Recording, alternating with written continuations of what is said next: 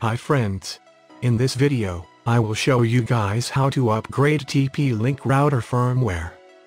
In this example, I am using TP-Link TLWR841N.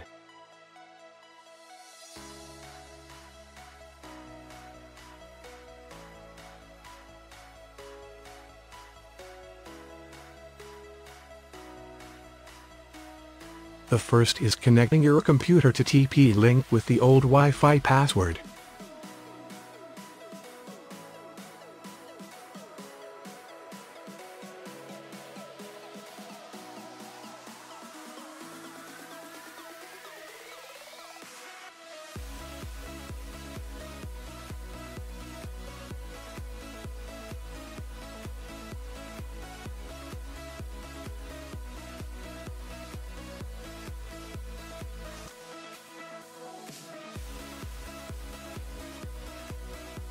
Now open your browser and type tplinkwifi.net. After that, you have to put the username and password. In my example, it is admin admin. Then click on sign in. Now we can check model number from the right side corner. So you have to copy this model number.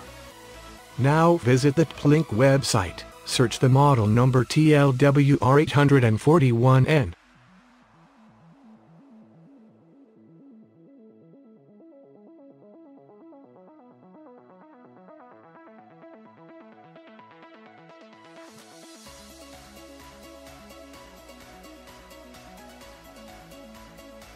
After that, choose hardware version.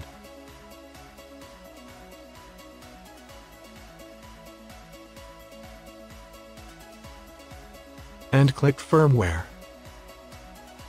Now select the latest firmware version and download it.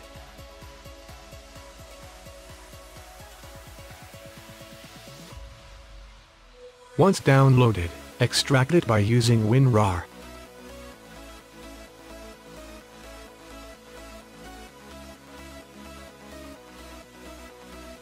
Now, come back tplinkwifi.net again. Go to System Tools and select Firmware Upgrade. Choose the file and click on Upgrade button.